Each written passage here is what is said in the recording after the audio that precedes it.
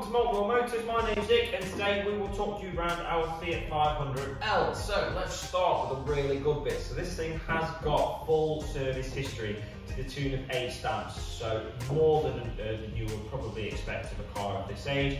It's covered just under 68,000 miles it's been serviced accordingly. And in the past 12 months alone, we've had a new set of tyres fitted in April, which have covered just under 3,000 miles, and a new set of disc and pads front and rear done in December, which have covered, I think, next to no miles. I think it was less than 1,500 miles, if I remember right. So, had a lot, a lot of money spent uh, on it over the uh, past 12 months, which means that it's unlikely you're going to need any kind of bills anytime soon.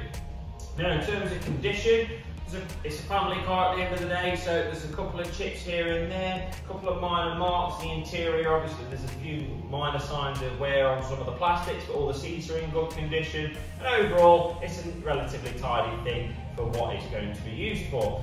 Equipment, we've got rear parking sensors. It's obviously an automatic as well, which is a big bonus for a lot of people. And of course, being the MPW version, it is a seven-seater too, all around electric windows. The usual kind of stuff is all contained on the car as well. There will be a 360 degree walk around video at the end of this clip so you can get a good idea to what the condition of the car is like for yourself. But as always, if you've got any further questions, please feel free to get in touch. So thanks very much for watching this video.